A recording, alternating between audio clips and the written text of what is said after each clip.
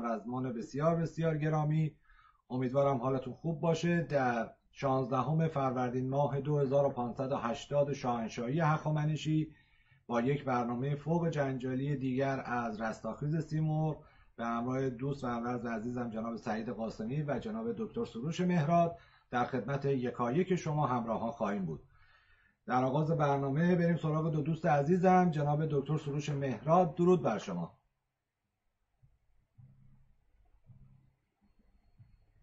درود بر شما کدبان کمالپور گرامی کدبان قاسمی گرامی درود به همه هم میهنان هم تباران هم زبانان در هر کجای این جهان پهناور که هستند به ویژه ایران شهر بزرگ تاریخی درود به همه با آرزوی بهترین ها که تندرستی و شادی است. سپاس از شما جناب قاسمی عزیز درود بر شما. بله من درود میفرستم به شما و دکتر سروش مهراد گرامی و یه درود به همه بینندگان دوستداران عزیزان توی برگاه رستاخیز سیمرغ کسایی که برنامه ما رو دنبال می‌کنن. این اولین برنامه ما در سال جدید 2580 شاهنشاهی ایرانیه امیدوارم که دوستانی که در سالهای گذشته برنامه ما رو حمایت کردن از ما حمایت کردن یا هم نظر بودن یا مخالف بودن یا به هر حال همراهی داشتن در سال گذشته. یه تشکر بکنم از همه عزیزان و عزیزانی که در سال جدید با ما هستن. امیدوارم که سال سال سرنگونی جمهوری انگل نشان آخوندی با همت ملت ایران و بازگشت شکوه عظمت ایران به کشور و به خاک ایران اهورایی برگرده. سپاسگزار میشم. دوستانی که برنامه رو الان به صورت live دارن می‌بینن توی فیسبوک حتما لطف کنید برنامه رو توی گروه ها پخش کنید توی مسنجر. برای دوستانتون بفرستید و من پوزش می‌خوام که نتونستم تصویری در خدمتتون باشم. بفرمایید جناب سپاس از شما. خدمتتون عرض کنم دوستان بله سال گذشته رو ما پشت سر گذاشتیم. 2579 شاهنشاهی رو با مشکلات بسیار زیادی در رابطه با کشور عزیزمون و واپسین روزهای سال پایانی رو با یک تنش های بسیار زیادی پشت سر گذاشتیم. همونطور که جناب قاسمی گفتن از یکایی که عزیزانی که در طول این چندین سال و حتی سال گذشته با ما همراه بودن در سختترین شرایط ما رو تنها نذاشتن و حمایتمون کردن سپاسگزاری می‌کنیم. امیدواریم که سال 2580 سالی باشه که پادشاهی خواهان همدیگر رو پیدا بکنن و در یک مسیر کاملا مشخص با هدف تعیین شده از قبل به پیروزی برسیم و جمهوری ننگین آخوندی رو سرنگون کنیم. همونطوری که در تیتر برنامه خوندید امروز یک موضوعی رو می‌خوایم بهش بپردازیم. تحت عنوان اینکه چرا جمهوری باعث تجزیه و عامل اصلی تجزیه ایران خواهد شد و چرا میگیم آری به حکومت شاهنشاهی. یکی از مسائلی که من در آغاز می‌خوام تاکید بکنم برای چندمین بار این هستش که ما در رستاخیز سیمرغ به هیچ عنوان تا امروز نه با شاهزاده رضا پهلوی ارتباط داشتیم نه ارتباط داریم. فقط و فقط و فقط سربازان کشورمون و نهاد و سامانه پادشاهی هستیم و تلاش می‌کنیم برای گذار از جمهوری اسلامی و رسیدن به آن چیزی که ما اعتقاد داریم به عنوان یک ایرانی که صاحب یک رأی هست. اما در طول این 42 سال شما شاهد دستیسه های بسیار زیادی از سوی دشمن بودید. تله های انفجاری که برای ما پادشاهی خواهان ترتیب دادند. سیستم های امنیتی آموزش هایی که به نیروهای صادراتیشون دادن حتی به نیروهایی که در سال قبل از 57 در سالهای قبل از 57 با حکومت شاهنشاهی جنگیدن در کنار رولا خمینی ایستادن و در روی کار آمدن جمهوری ننگین اسلامی عبری عربی نقش بسزایی داشتند. و بعد از سال 57 هم به عنوان ابزارهای نگهدارنده جمهوری اسلامی در خارج از ایران مثلا به عنوان اپوزیسیون جمهوری اسلامی نقش آفرینی کردند. این افراد یک سری اطلاعات غلط تزریق کردن در جامعه ما که این باعث یک اتفاق بسیار شوم شده. و متاسفانه در طیف پادشاهی خواهان عده خاص هستند که فعالیت های سیاسی رو مبنا بر اساس تحصیلات و علوم آکادمیک دارن دنبال می‌کنن. عده دیگه هستن از همیانانمون که قلبا به حکومت پادشاهی علاقمند هستن و ذاتا اون ارق ملی و ناسیونالیستی ایرانی که دارن خواهان بازگشت به حکومت پادشاهی هستند اما عده از همیانان ما در طیف پادشاهی در بعضی از مواقع خیلی منحرف میشن و عامل انحراف بودنشون منحرف بودنشون هم همین دستیس های دشمنان هست. و خودشون هم که به قول قدیمی ها میرن تو باقالی ها یک سری از میان پرستان هم با خودشون می‌برن. یکی از مهمترین شعارهایی که تا الان دیدیم و در همین اواخر هم خیلی باعث سردرگمی طرفداران حکومت پادشاهی شد. تعیین نوع حکومت هست که میگن پادشاهی خواهان به عنوان شا... به عنوان حالا واژه‌ای که اونا میگن استفاده نمی‌کنن ولی به عنوان چماق به دستان حکومت پادشاهی به دنبال تعیین نوع حکومت از الان هستند همیانان عزیز این یک دسیسه است. نه جمهوری خواهان نه ما پادشاهی خواهان. الان در داخل ایران نیستیم. الان ابزاری برای تبلیغات و تعیین نوع حکومت نداریم.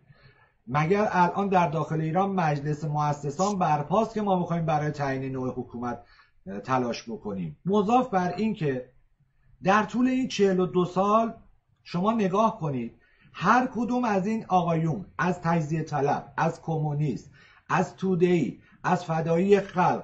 هر کدوماشون که اومدن مجاهدا که جای خود دارد اومدن دارن تبلیغ حکومتی رو در آینده می‌کنن و دارن از الان جا میندازن و دنبال این هستن که از مردم ایران مشروعیت بگیرن.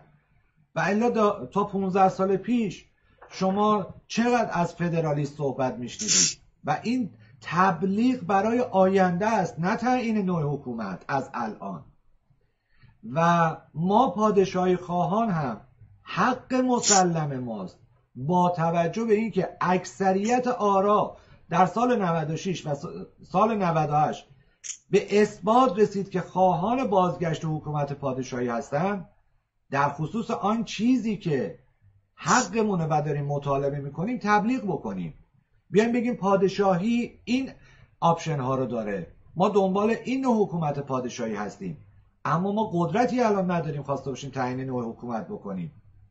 این اتفاق یک چیز به دنبال خواهد داشت و اون که بعد از گذار از جمهوری اسلامی و سرنگونی کامل جمهوری اسلامی اگر ماها صحبت نکنیم و نگیم چرا پادشاهی آره و جمهوری نه فدرالیسم یعنی تجزیه ایران تجزیه طلبا به اسم هویت طلب فلان فلان همون جمله رستاخیز سیمرغ میشه.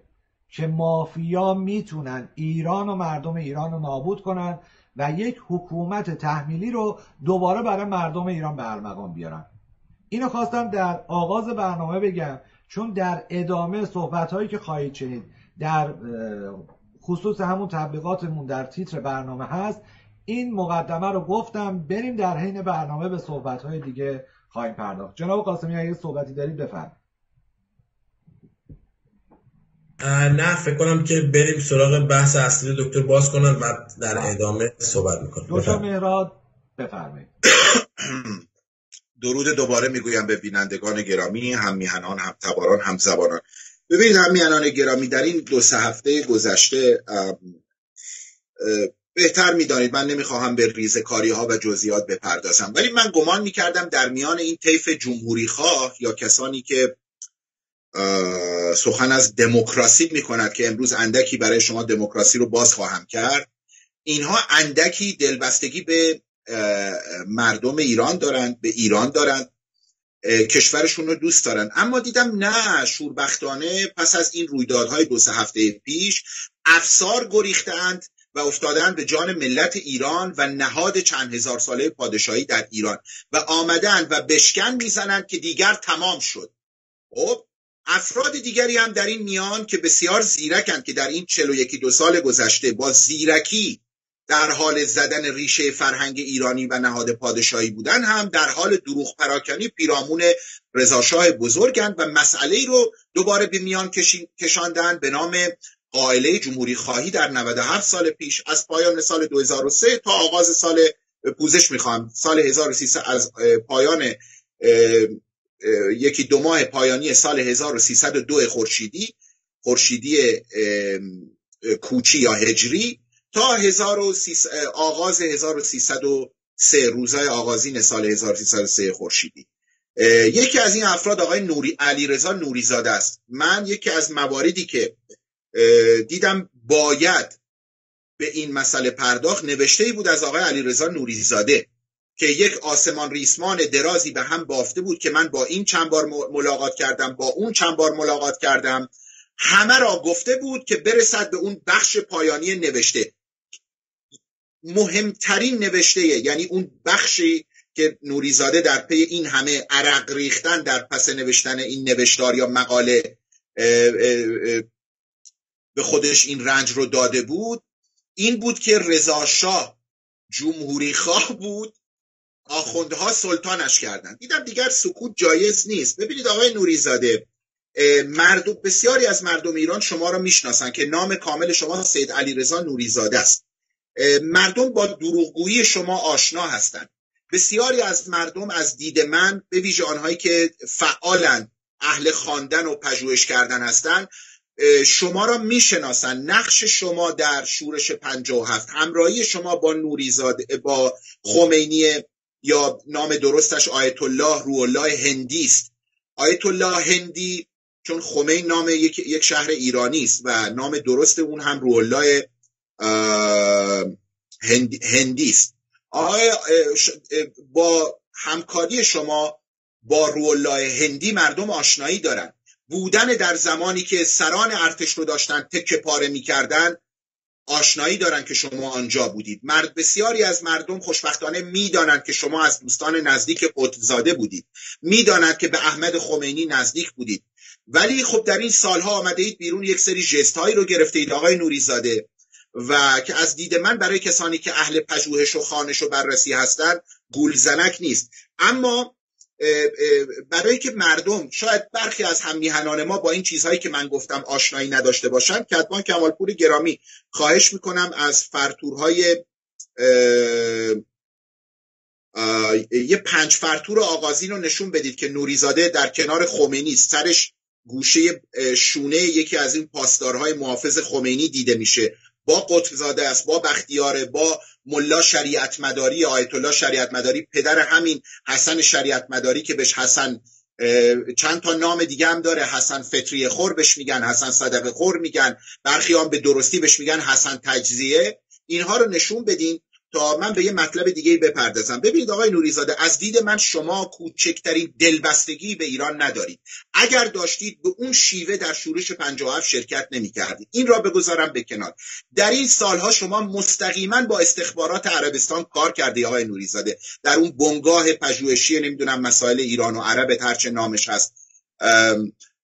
آقای نوریزاده شما بارها در نشست تجزیه طلبان نه تنها شرکت کردین و سخنرانی کردید و زیر درفش اون کشورک های خیالیشون که باید در پی تجزیه ایران به وجود بیاد ایستاده اید و سخنرانی کرده اید بلکه با برخی از مقامات اطلاعاتی امنیتی در MI6 دوستی و نزدیکی دارید که این رو من به خوبی می‌دانم. امروز من برنامه پیرامون شما نیست که بخوام زندگی شما را بگذارم روی پوزش می‌خواهم این گونه می‌گویم. داری دنبک و ذات شما رو به مردم نشون بدم. خوشبختانه بسیاری شما رو می‌شناسند شما در نه تنها در نشست این تجزیه طلبا شرکت کردین در, در بارها و بارها آقای نوریزاده شما باعث برپایی همچین نشستهایی شدید. یعنی تنها یک دعوت شده به اون نشست ها و یک سخنران نبودید که اگر من رو هم هزار بارم دعوت کنم پایم رو در اون لجنزاری که سخن از تجزیه ایران و بسترسازی برای کشتار و نجات کشی مردم ایرانه هرگز و هرگز نخواهم گذاشت. خواهش می‌کنم اگه این فرتورا رو نشون بدین.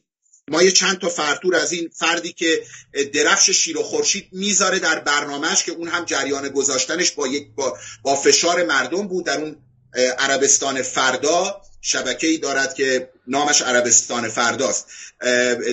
درفش شیر خورشید می‌گذارد. در کنار درفش شیر خورشید مینشیند و ایران ستیزی می‌کند. این مسئله خیلی مهمه. ببینید مینشیند در کنار درفش شیر خورشید پشت شیر خورشید سنگر گرفته و به قول گفتنی ایران ستیزی می‌کند. آقای نوریزاده باز هم می‌گویم مردم ایران فریب اون درفش مقدس شیر خورشیدی که به زور و فشار مردم در برنامه گذاشتی رو نخواهند خورد. سپاسگزار میشم اگه اینا رو نشون بدید با یه کامل نشون دادم دکتر خب حالا میشه بریم روی بقیه اون چیزها بقیهشون. بله. من یه مقدار یه ده دقیقه 15 دقیقه 20 دقیقه ما باید به این فرد بپردازیم.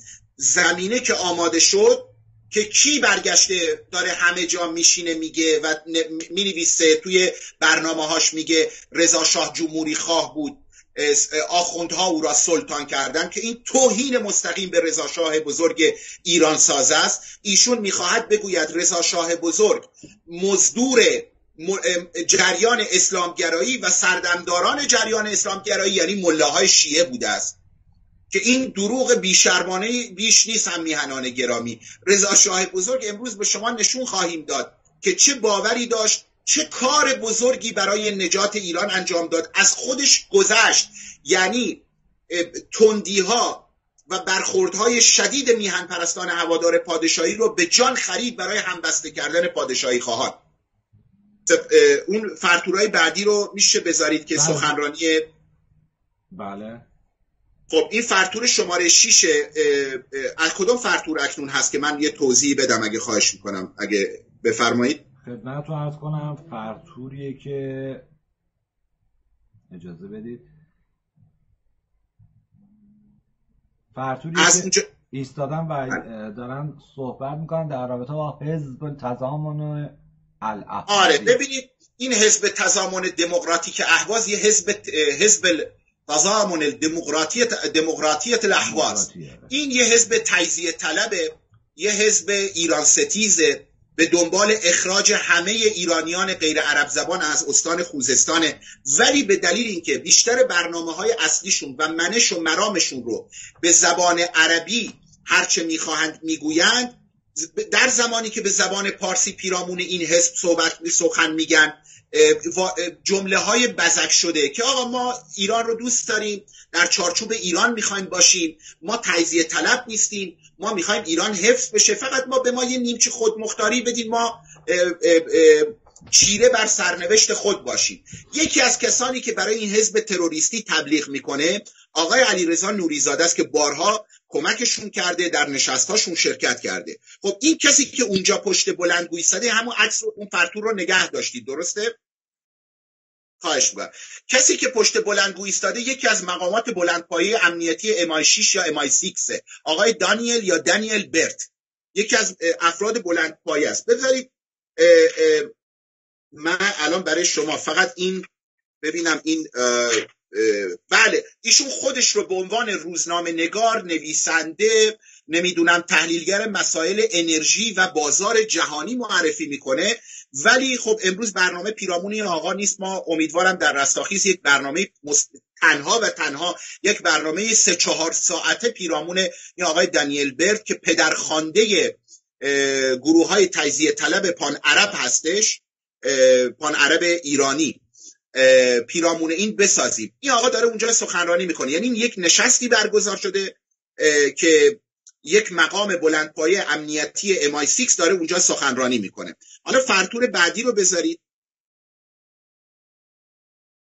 بله ایران ستیز تجزیه طلب هوادار اخراج همه غیر عرب زبان ها از خوزستان یوسف عزیزی بنی طرف که اول کمونیست بود بعد تواب شد بعد اصلاح طلب شد و بعدش هم صادرش کردن به بیرون برای ترساندن ملت ایران از فردای رفتن جمهوری اسلامی.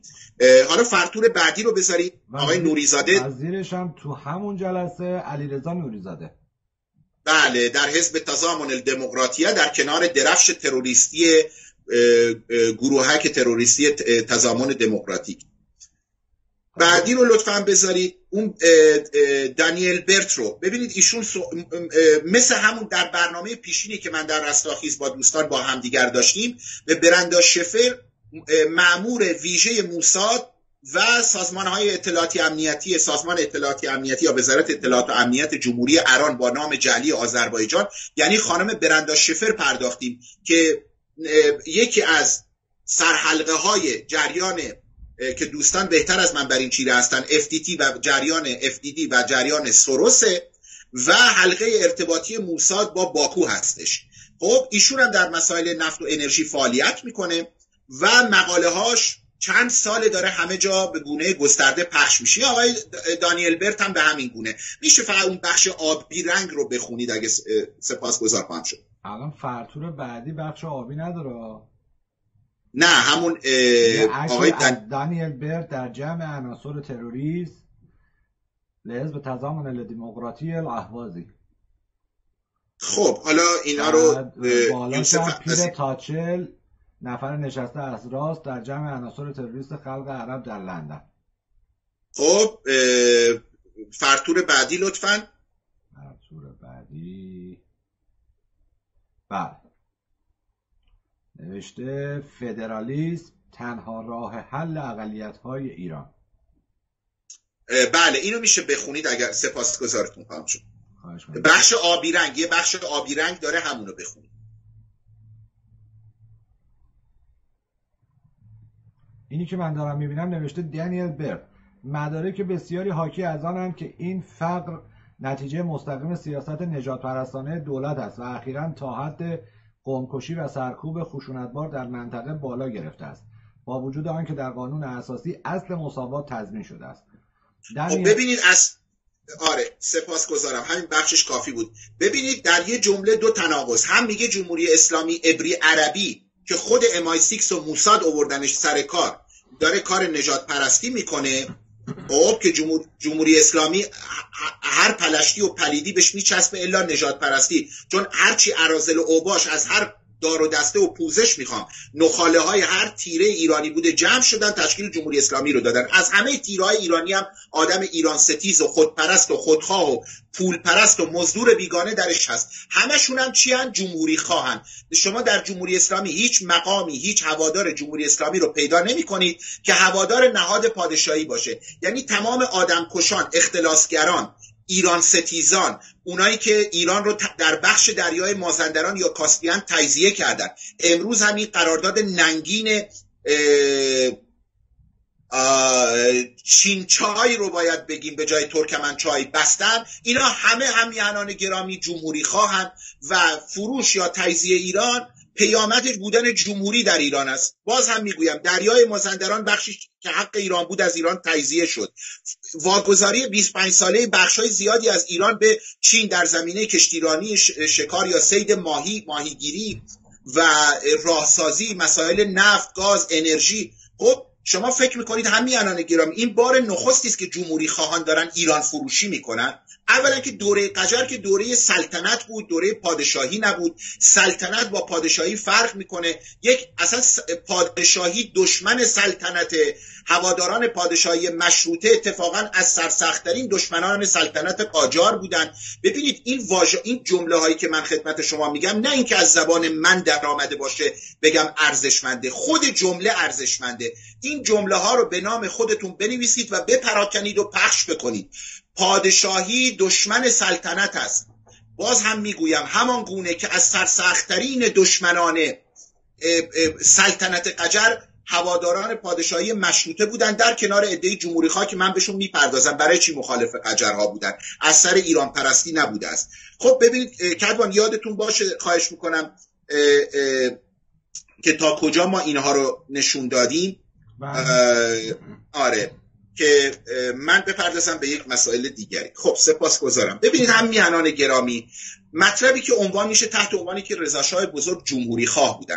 رضا شاه بزرگ در مقطع بسیار کوتاهی از سخن از جمهوریت کردن. بیشتر از جمهوری جمهوریت. و حالا اصلا بگیم جمهوری خواهی. رضا شاه بزرگ دلیل داشتن برای کارشون. می‌دونید چرا؟ رضا شاه بزرگ به دلیل اینکه برخلاف اون دو جریان دیگری که اکنون توضیح می‌دهم هوادار جمهوری بودن رضا شاه بزرگ که اون سران اون جریان ها بسیاریشون توی دولت قجر کار نمی‌کردن. پست بالای در اسوی قجرها نگرفته بودن. رضا شاه بزرگ سردار سپه بود. رضا شاه بزرگ تقریبا شخص دوم کشور بود. رضا شاه بزرگ در همون زمانی که قائله جمهوری خواهی برپا شده بود یک کمی پیش از اون با بانو اسمت الملوک دولت شاهی بانو اسمت الملوک دولت شاهی ایشون ازدواج کرده بودن که از نوادگان فتلی سلطان هستن این بانوی روانشاد بودن.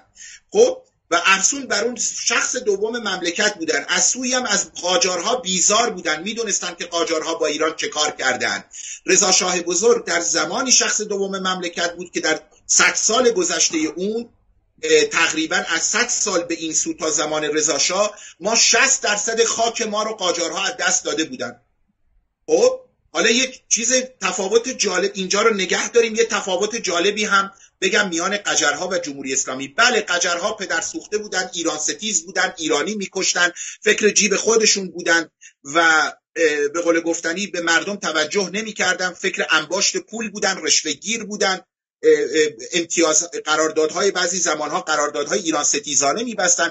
ولی قجرها هر خاکی رو از دست دادن با جنگ از دست دادن. هم میهنان گرامی. یعنی یک جنگی بر سر اون صورت گرفته بود. اینها به دلیل بیلیاقتی زنبارگی پولپرستی و شعور اداره کشور نداشتن اون خاکا رو از دست می‌دادن. باز در زمینه دادن خاک و تجزیه ایران قجرها کمی بالاتر از جمهوری اسلامی هستن. یعنی جمهوری اسلامی ابی عربی پستر و پایینتر در این زمینه. در کف جدول جا داره. چرا؟ چون بدون جنگ و خونریزی با یک اشاره روسیه دریای بخشی از دریای مازندران که حق ملت ایران بود رو دو دستی دادن. اکنون از ترس برخی مسائل بخشایی از ایران رو دارن به چین واگذار می‌کنن. اون جریان بندر چابهار که داره به هند واگذار میشه. آبخوست ها یا جزیره های ایرانی که براش هزار یه برنامه دارن و به چین اجاره داده خواهد شد.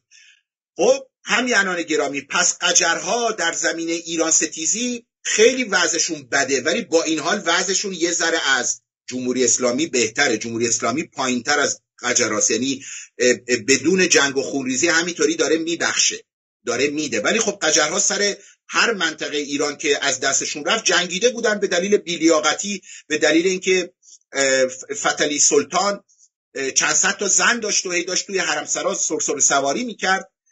مینش از پایین سرسره پاهاشو باز می‌کرد. نوبتی میومدن میافتادن روی پاهاش. به همین دلیل کشور برباد رفت. در خیلی ش... پس رضا شاه بزرگ در زمانی شخص دوم کشور بودن که ایران تقریبا در چند دهه گذشته 60 درصد خاک خودش از دست داده بود و چند در چند سال پیش از اون با ایجاد قحطی مصنوعی از سوی انگلستان و با همکاری احمد سلطان قجر ایران ستیز ما 8 میلیون کشته داده بودیم.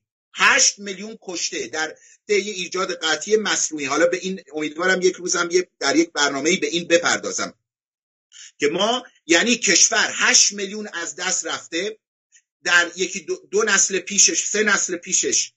اه اه هنوز اون خاطره دهشتناک از دست رفتن ایران 60 درصد ایران در زمان فتلی سلطان در زمان حتی محمد شاه در زمان چه می‌دونم بخشایی در زمان ناصر شاه. همینطوری تیکه تیکه بخشایی از کشور ما از دست رفته بود همیهنان گرامی. به همین دلیل رضا شاه بزرگ به شدت به شوند یا علت میهن پرست بودن از قجرها بیزار بودن.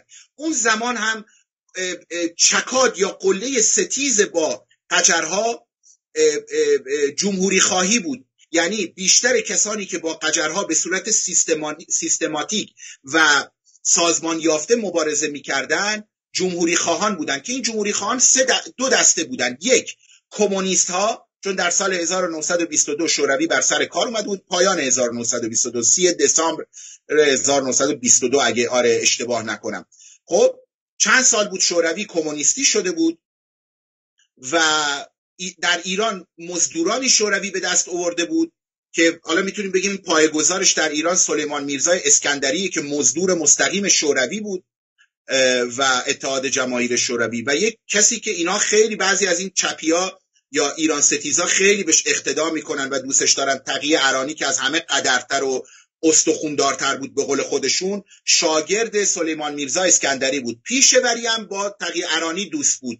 با تقی ارانی دوست بود. هر دو هم که زیر تاثیر سلیمان میرزا اسکندری بودن. خب توجه بکنید. پیشوری زیر تاثیر سلیمان میرزا اسکندری و از دوستان تقی ارانی. خود حدیث مفصل بخوان از این مجمل.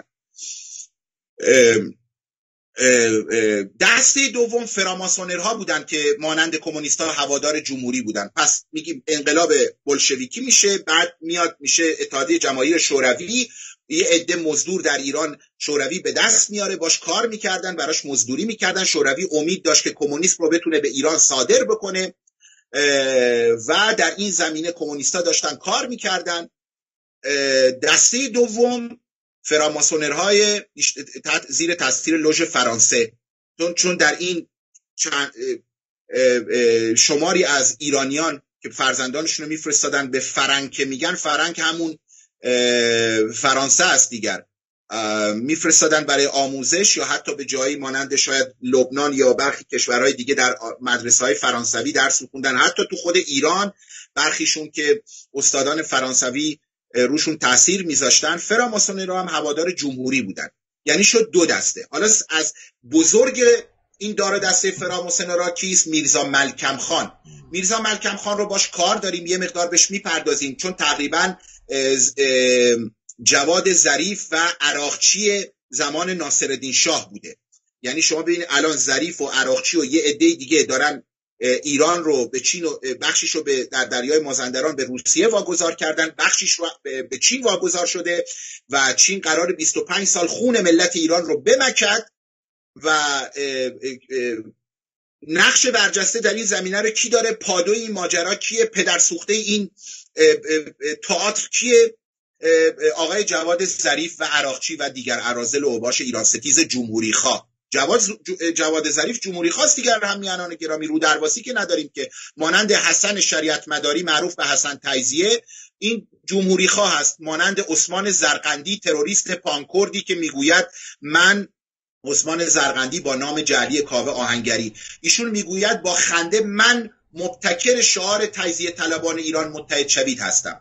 خب پس ما با این میرزا ملکم خان کار داریم یه مقدار. جریان سوم هم این رو بگم بعد برم رو میرزا ملکم خان. جریان سوم هم رضاشاه بزرگ بودن. فردی بسیار میهن پرست کشور رو ایمن کرده. دو تا دقت کنید به این مسئله کلیدی.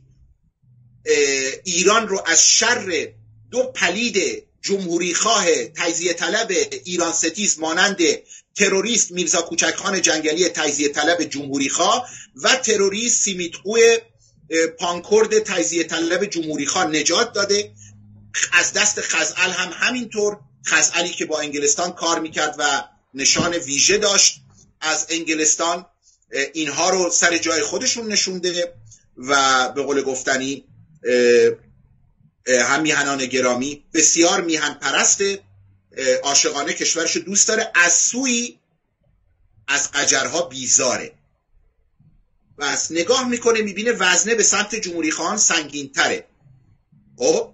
و برای اینکه باز هم میگم چون شخص دوم مملکت در دولت قجری است چون به تازگی با همسرش اسمت الملوک دولتشاهی ازدواج کرده و به قول گفتنی که یک از خاندان قجره نمی‌خواست گمان بکنن که اگر بگوید پادشاهی بگن خب ایشون می‌خواد قجرها رو در ایران نگه بداره. و واقعا به دلیل بیزاری که از قجرها داشت در یک مقطع زمانی بسیار کوتاهی ایشون سخن از جمهوری کردن. ببینید میرزا ملکم رو بگم بعد بیام این جریان رو ادامه بدم. میرزا ملکم خان که تقریبا بزرگ دیر این فراماسونر هاست ایشون از بسگونه سازمان یافته فراماسونری رو در ایران پایگذاری می‌کنه میرزا ملکم خان. پایگذاری می‌کند امیانان گرامی و تلاش می‌کرد با باندی که درست کرده بود روی بلند پایگان قجری تاثیر بگذارد. یعنی یه طبقه ای رو می‌خواد شک بده از فراماسونرها در ایران به صورت گسترش بده فراماسونری رو در ایران. بسیار ایران ستیز بود. هوادار تقریبا می‌تونم بگم از نخستین هواداران جمهوری در ایران بود. و حتی در ببینید قجرها در مناسبات در گفتگوهای دولتیشون با دولتهای دیگه زمانی که مذاکره می‌کردن بعضی مواقع همین میرزا ملکم خان رو به عنوان مترجم خبر می‌کردن. حتی سید, سید محیط تبا در کتابش که به میرزا ملکم خان می‌پردازه میگه که احتمالا ناصر شاه بوده اگه اشتباه نکنم. می‌خواستن با انگلیسی ها مذاکره بکنن. نمایندگان انگلیس از دولت از قجری ها می‌پرسن مترجم شما کیست؟ می‌گوین میرزا ملکم خان.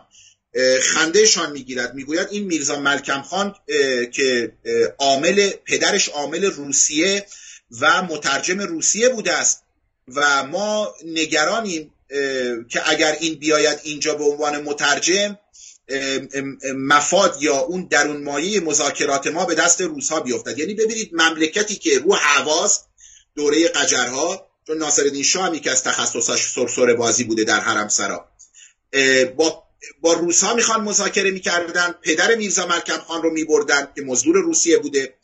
با خود, می‌خواستن با انگلیسی ها گفتگو بکنن خودش رو می آوردن این میرزا ملکم خان همیهنان گرامی یک در جریان قرارداد رویتر که یک قرارداد بسیار بسیار ایران ستیزانه است که امروز هم خیلی همخانی با این روزهای سخت ما داره که میهن پرستان در پریشانی و نگرانی و آشفتگی هستند برای قرارداد 25 ساله جمهوری اسلامی عربی و سران جمهوری خواهش. و این قرارداد رو بستن برای 25 سال ایران رو بخشای از ایران رو و هیته های بسیار امنیتی در زمینه انرژی رو به چینی ها واگذار کردن. این در قرارداد رویتر ببینید نماینده انگلستان شخصی بود به نام جولیوس دو رویتر که یک یهودی بود یک یهودی که پوزش می‌خوام تبار آلمانی انگلستانی داشت. و نام نام کوچکش هم اسرائیل اسرائیل نمی‌دونم بر یوسافات یا همچین چیزی. حالا مطمئن نیستم. درست به یاد ندارم. ولی فکر نامش رو نام کوچکش رو به یاد دارم. اسرائیل نام کوچکش و به نام جولیوس دورویتر شناخته میشه. از طرف قجرها هم میرزا ملکم خان معین الملک و مشیر الدوله بودن. اینها قرار می‌ذارن که برای هفتاد سال در بخش راهن جاده یا راه جنگلداری یا حالا صنایع چوب. ماهیگیری کشتیرانی چه می‌دانم. همه همه معادن ایران به جز از طلا و نقره. شما ببینید چقدر معدن و در سراسر ایران اینا می‌تونستن بهرهوری بکنن. برای مدت هفتاد سال حالا در یه بخشایی هم 20 سال 25 سال 40 سال یه همچین چیزایی.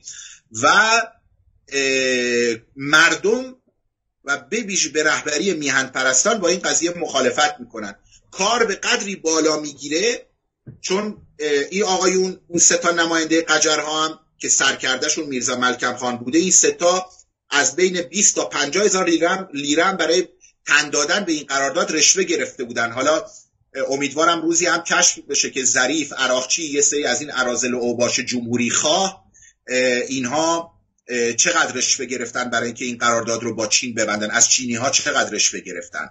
خب و دیگه ناصرالدین سلطان می‌بیند چون به اینها شاه نگویید شاه یه مفهوم به معنای نگهبان و پدر ایران رو داره. نگهبان نگهبان ایران شهر. اینها سلطان بودن. ناصرالدین سلطان هم که می‌بینه اوضاع به هم ریخته. هم از اون بر صدای روس و انگلستان در اومده. هم مردم ایران بسیار آشفته هستند و ممکنه که اون رو به زیر بکشن با این قضیه اونم مجبور میشه مخالفت می‌کنه. اون آقای یهودی یهودی که می‌خواسته ایران رو ببلعه به نام جولیوس دو رویتر ایشون اعتراض رسمی می‌کنه و برای اینکه دهن این یهودی رو ببندن یهودی معمور مستقیم انگلستان امتیاز تاسیس بانک شاهنشاهی رو بهش میدن. حالا جالبه این می‌گوید برخی از این جمهوری خواهان ایران ستیز تجزیه طلب می‌گویند که رضا شاه بزرگ رو انگلستان آورده. انگلیسی ها آوردن. انگلیسی ها اگر رضا شاه رو آورده بودن که بانک شاهنشاهیشان را تعطیل نمی‌کرد. ای بی خردان ایران ستیز دشمن پهلوی. بانک شاهنشاهی آنها را درش را تخته نمی‌کرد و نمیبست. هم میهنان گرامی خواهش می‌کنم به این نکته های ظریف دقت بفرمایید. ببینید پس دیدیم که جریان جمهوری خواهی از کجا آغاز میشه. از اون سر قلش فراماسونریه یعنی اون میرزا ملکم خانشون که یک اختلاسگر رشوهگیر دوز تجزیه طلب بود. این آقای جمهوری خواه و برای فرانسه مزدوری می‌کرد و برخی دیگر از کشورها. از سوی دیگه کمونیست ها کمونیست ها چپگره ها یعنی دو جریان عمده است. رضاشاه بزرگ از دید ایدولوژیک هیچ همخانی و سنخیتی با اینها نداره. ولی به شما گفتم به چه دلیلی در یک چند ماهی ایشون سخن از جمهوری می‌کنند یعنی رضاشاه میهن پرست بود دشمن قجرها بود به هیچ عنوان به هیچ عنوان نمی‌تونست تایید بکنه فراماسونری رو مزدوران شوروی رو. ولی گفتم به دلیل اینکه زن قجری داشت به تازگی ازدواج کرده بود و مقام شخص دوم بود در دوره قجر در دوره احمد سلطان. ایشون نمی‌خواست که سوء برداشت بشه که کسی می‌خواهد که ایشان می‌خواهند قجرها ادامه پیدا کنند. از طرفی ما دو جریان هوادار پادش, پادش کسانی که مخالف این جریان جمهوری بودند. یک میهن پرستان مخالف سرسخت جمهوری که اینها هوادار پادشاهی مشروطه بودند و ملاهای شیعه. بله ملاهای شیعه برای شما الان توضیح میدم. خیلی جالبه این. ببینید ملاهای شیعه آ میهن پرستان در زمانی که رضا شاه بزرگ سردار سپه بودن سخن از جمهوری گفتن بدون هیچ رو ای با نوشتن نوشتار یا مقاله با با سرودن چکامه و سرود پخشش به صورت غیر رسمی در کوچه و خیابان انداختن در خانه های مردم. چه با چاپش در روزنامه ها مخالف یا مجله ها یا چه می‌دانم چند روزنامه ها و هفته نامه ها مخالفت شدید خودشون رو با جریان جمهوری خواهی اون دو جریان عمدش و شخص رضاخان سردار سپه نشون دادن با رضا شاه بزرگ. و بدون اینجا یه سوال برای من مطرح شده که چرا این دشمنان ایران بهش توجه نمی‌کنن و این همه پارادوکس گفتاری و رفتاری برای چیه؟ ببینید از یک طرف میگن که رضا شاه بزرگ دنبال جمهوری بوده. خب مگه غیر از اینه؟ دکتر جان که اون زمانی که رضا شاه اومد بر مسند قدرت رسید بر اساس رأی و انتخاب مجلس شورای ملی همون زمان در داخل ایران 17 نفر به عنوان جمهوری, جمهوری که می‌خواستن تجزیه کنن. دنبال خودگردانی دنبال استقلال بودن بر سر قدرت بودن داشتن میجنگیدن. داشتن راه رو میبستن دزدی می‌کردن قارت می‌کردن به اسم اینکه ما حکومت جمهوری می‌خوایم. از میرزا کوچک پشمکی چی جنگلی از در گیلان تا شیخ خزعل و بقیه همه, همه این تجزیه طلبان. خب این بهترین موقعیت نبود از نظر شما که اگر رضا بزرگ دنبال جمهوریت بود؟ جمهوری خواه بود. از همین شرایط استفاده کنه و بره سمت جمهوری. و چرا رفت دنبال پادشاهی؟ خب من این رو پاسخ شما رو می‌تونم بدم. این رو به, این خواهم پرداخت. ببینید باز هم میگم رضا باور ایدئولوژیک به جمهوری نداشت هم میانان من. به شما گفتم چرا سخن از جمهوری گفت که بگوید ایوه الناس مردم فلانی بهمانی بنده نمی‌خوام این قاجار ادامه پیدا کنه. ایشون شخص دوم مملکت در حکومت قجره. ایشون زنش نواده فتلی سلطانه و از خاندان سلطنتی قجره. خب معلومه برای اینکه کسی گمان نکنه ایشون دور از جون ایشون عمل اکله قجر هاست. باید در یک مقطعی نشون می‌دادن این مسئله رو.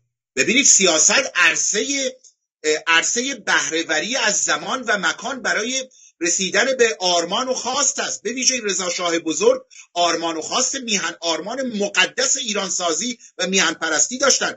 رضا شاه بزرگ پوست میرزا کوچکخان جنگلی رو کنده قائلش رو تموم کرده.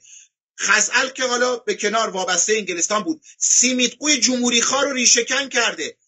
مزدور شوروی شوروی که یک جمهوری خواه بود میرزا کوچکخان و خال و قربان و این ارازل اوباش رو شرشون از سر مردم ایران کنده رضا اگر باور ایدئولوژیک به جمهوری خواهی داشت می‌رفت میستاد کنار میرزا کوچکخان جنگلی. می‌رفت به قول گفتنی دست مینداخت گردن سیمیتخو نه اینکه رضا شاه بزرگ بیاد به قول گفتنی فقط به زبان بگوید. رضا شاه بزرگ ارتش خودشون رو به زیر پای رضا شاه بزرگ یا سردار سپه مینداختن اگر رضا شاه بزرگ به راستی جمهوری خواه بود محبوبیت در میان مردم داشت. سر هر گذری یه راهزن ایستاده بود مردم رو لخت می‌کرد. تمام این عرازل و اوباش دزد راهزن رو رضاشاه بزرگ در ایران جمع کردن.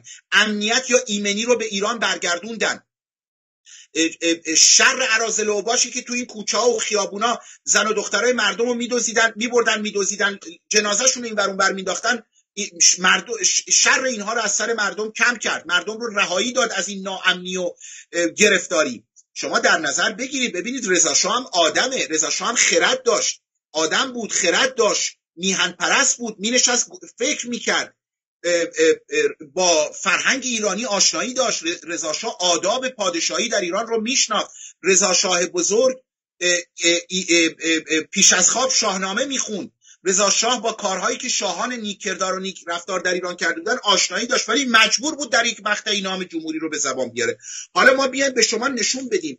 ببینید رضا شاه این رو می‌خوام بگم. رضا شاه اگر صد درصد می‌خواست که جمهوری در ایران بر سر کار بیاورد می‌توانست زورش هم داشت توان نظامیش هم داشت از 75 تا کرسی مجلس 55 تا هم پشت سرش بودن. همینو خب؟ می‌خواستم بگم. از کسی نمیترسید که وقتی به قدرت رسید از کسی دیگه واهمه ای نداشت. خب خب همه ابزارهای لازم و حتی از نظر داخلی هم در اختیار داشته ولی با همشون مبارزه کرد مقابله کرد.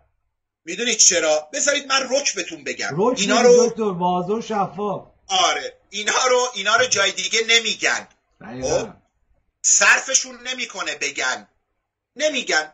آقا نمیگن. رضا شاه برترین هدفش منسجم کردن و همبسته کردن پادشاه خواهان پراکنده بود. تمام شد. تمام شد و رفت.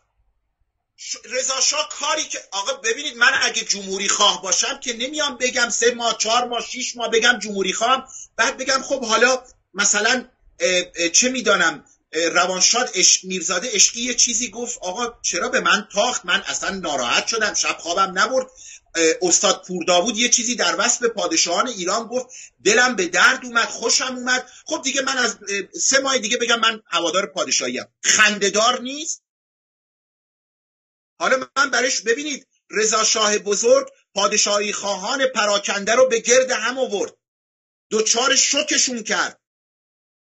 سره از ناسره شناخته شد در 97 سال پیش مانند همین امروزی که ما هستیم. یک عده گفتن آخ وای چنین شد بدبخت شدیم بیچاره شدیم پادشاهی مشروطه به فنا رفت جمهوری آمد ایران تجزیه می شود این می شود آن می شود تکان خوردند. دست از سستی و کاهلی برداشتند. رضا شاهی که ایران را از تجزیه به دست میرزا کوچکخان جنگلی و سیمیتو و خزعل نجات داده بود رضا شاهی که امنیت رو به ایران آورده بود و در سازندگی ایران نقش داشت که بیشترین کارراش رو هم تازه در, در پس از پادشاه شدنش انجام می‌دهد. او با این کارهای بزرگی کرده بود و محبوب مردم بود. رضا می‌دانست که به تنهایی با دست خالی نمی شود مردم باید پشتش باشند ولی مردمی که نه نشستن جلوی به قول معروف نشستن تو خونه پا انداختن رو پا اون موقع یا زیر کرسی بودن یا قلیون میکشیدن رادیو تلویزیون که نبود که. تلویزیون به این شکلی که امروز هست. خب خشمشون رو در فضای مجازی پیاده می‌کنن. نه همیانان گرامی. ایشون می‌خواست از رخفت و سستی در بیاره. نشون بده به مردم که آقا ببینید طبقه الیت میهن پرست پادشاهی می‌خواد. الان من برای شما ببینید من از سید اشرف الدین حسینی گیلانی معروف به نسیم شمال. انسان بسیار برجسته خیلی هم می‌شناسن ایشون رو. سید اشرف الدین حسینی گیلانی معروف به نسیم بهش نسیم شمال هم میگن چون مجله بود یک نسک چکامه یا کتاب شعری هم به همین نام دارش میگه فقط اون موضوع این که هواداران مخالفین قجری که جمهوری خواه نبودن چند دسته بودن دو دسته بودن رو فراموش نکنید که یکیشون میهن پرستان هوادار پادشاهی مشروطه بودن دیگری ملاهای شیعه بودن. بیایم ما این گره رو هم اینجا باز کنیم که یک ایران ستیز هوادار تجزیه ایران یعنی سید علیرضا نوریزاده مزدور استخبارات عربستان و امای سیکس فردا جرأت نکنه دوباره بگه رضا شاه بزرگ جمهوری خواه بود آخوندهای شیعه سلطانش کردن. یعنی می‌خواد بگه رضا شاه بزرگ که روانش شاد باد روانش در شادی و آرامش باد. نوریزاده می‌خواد بگه که ایشون مزدور جریان اسلامگرایی بوده و توسط اسلامگراها به قدرت رسیده. ای توف بر تو آقای نوریزاده توف بر تو آقای نوریزاده. باز هم تکرار می‌کنم. سید اشرف الدین حسینی گیلانی معروف به نسیم شمال. آخر هموطنان صحبت جمهور چه بود؟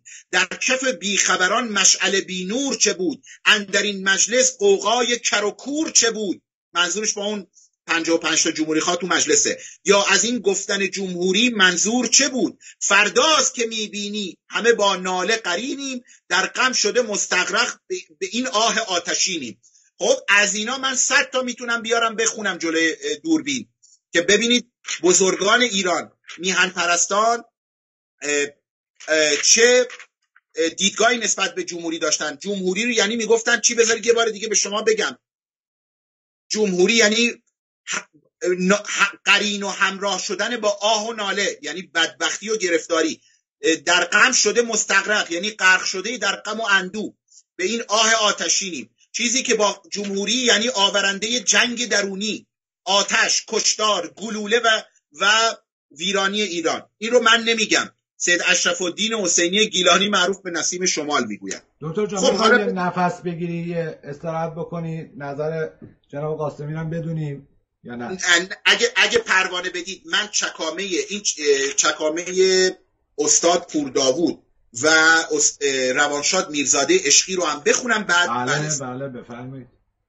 خب خواهش می‌کنم. بذارید من فقط ببینم این چکامه استاد پورداوود گرامی رو اکنون نمی‌دونم کجا گذاشتم آها اینجاست. میگه سردار استاد ابراهیم پورداوود که زمانی که احمد سلطان قجر به تخت نشست یک مرسیهی درباره به تخت نشستن احمد سلطان قجر ایران ستیز می‌گوید و که دل, دل هر میهن پرست پادشاهی خواهی رو به درد می آورد استاد پورداوود در می‌گوید سردار سپه خانز بیگانه بپرداخت این پور وطن مادر ماتم زده بنواخت. مردانه بکوشید و به هر سوی همی تاخت.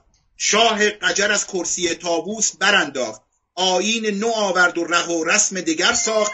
یادش یادش به جهان هرمز دادار نگهدار. یعنی شما ببینید استاد پور داوود که زنده کننده بخش زیادی از فرهنگ نیاکانی پیش از اسلام ماست چه دیدگاهی درباره رضاشاه بزرگ دارد. بخش دیگری رو که می‌خوام براتون بخونم میرزاده عشقیه میرزاده عشقی اینقدر از رضا شاه بزرگ.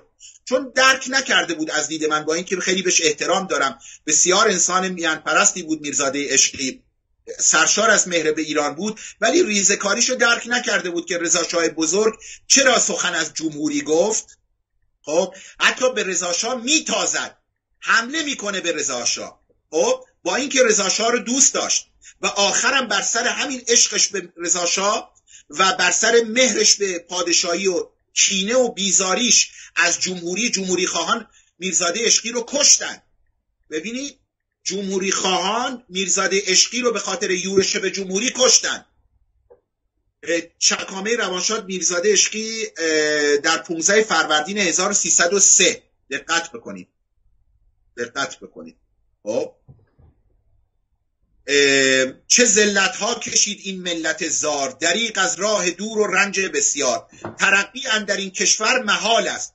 در این که در این مملکت قحط و رجال است. خود خرابی از جنوب و از شمال است. بر این مخلوق آزادی وبال است. بباید پرده بگرفتن ز اسرار که گردد شرح بدبختی پدیدار. یعنی میگه آقا باید دست به افشاگری زد دست به آگاهی رسانی زد. باید با مردم سخن گفت. مردم آگاه کرد چی در انتظارشونه. باید به مردم گفت که جمهوری سردمداران جمهوری همه پلید و ایران ستیز و خائن و میهن فروش و تجزیه طلبن.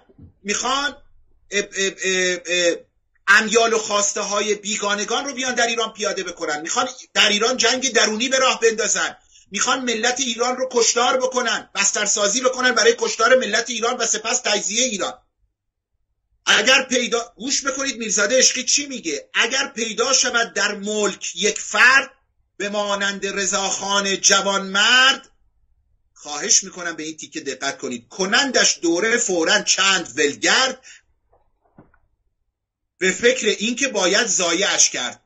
دوباره میگم کنندش دوره فورا چند ولگرد که به فکر این که باید زایش کرد که اونا که جرأت نداشتن که رضا شاه رو به ریشخند بگیرن یا مسخره کنن. منظور این بود که ایشون رو جایگاه به جایگاه ایشون آسیب بزنن. به اندیشه های ایشون آسیب بزنن. کنترل کنندش دور فورا چند فرد ولگرد رو برای که براتون جا بیفته. امروز مثلا یه ولگردی اینو من نمیگم اینو دوستان در رستاخیز نمیگن. گفته روانشاد میرزاده اشقی است. چکام سرا روزنامه نگار نویسنده کسی که اپرای درباره ایران باستان نوشت و در سفری که اگر یادم درست بگم به, به تیسپون بله. یا ایوان خسرو یا به نادرست به نادرست می‌گوییم ایوان مدائن. خب میگه کنندش دوره فورا چند ولگرد به فکر اینکه باید زایش کرد. مثلا امروز کیو می‌تونیم بگیم؟ مثل حسن شریعت مداری حسن صدق خور حسن تعیزیه. خب که به دنبال آسیب زدن به پادشاهی و تنها گزینه درخور و شایسته و قانونی آن هستند ول من نمیگم میرزاده عشقی میگه. یه ولگردی مثل پر... رامین پرها که میگه تا... ما تاجو می‌خوایم بذاریم روی سر پادشاه روی سر دموکراسی. خب ما میگه که نگید انقلاب سپید شاه و مردم. این کلمه فاشیستیه. خب آقای پرهام میگه چرا نام فرهیختگان رو نمیارن؟ خب فرهیختگان هم بخشی از مردم هم نمی‌تونن که بگن فرهیختگان از تو دل مردم بکشن بیارن بیرون. بگن انقلاب شاه و فرهیختگان و مردم و چه می‌دونم کت خداها و شهردارا خنده داره. انقلاب شاه و مردم شاه به عنوان پدر و نگهبان مردم و مردم. خب آقای پرهام ما تاج رو می‌ذاریم روی سر نهاد پادشاهی و تنها گزینه شایسته و درخور و موجه و قانونیش. رضا شاه دوم باشه. شک نکن.